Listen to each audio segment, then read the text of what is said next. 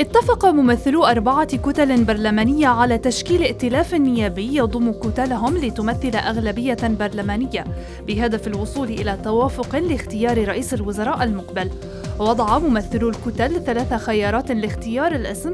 الأول أن يتم تشكيل حكومة برلمانية صرفة من رحم البرلمان رئيسا وأعضاء والثانية أن تكون الحكومة مختلطة بحيث يكون للنواب حصة فيها.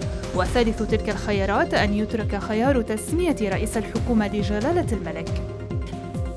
اعتصم عدد من موظفي أمانة عمان الكبرى أمام مبنى الأمانة احتجاجا على عدم تطبيق هيكلة الرواتب عليهم أسوة بالمؤسسات الحكومية.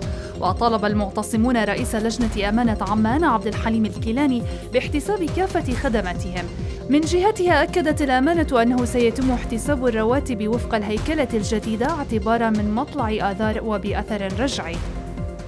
عقدت الحملة الوطنية من أجل حقوق الطلبة. ذبحتون مؤتمرا صحفيا بالتعاون مع النقابات الطبية احتجاجا على قرار الحكومة الأخير القاضي برفع رسوم التسجيل لتخصص الطب في الجامعات الرسمية وتوحيد سعر الساعة في كل منها بمبلغ 100 دينار. وأكدت وحدة المتابعة في الحملة أن هذا القرار يعني رفع رسوم التسجيل بنسبة تتجاوز 200% من سعر الساعة السابق. صرح وليد البني المتحدث الرسمي باسم الائتلاف الوطني المعارض في سوريا أن الائتلاف سيعلق مشاركته في مؤتمر أصدقاء سوريا بروما احتجاجا على قصف حلب.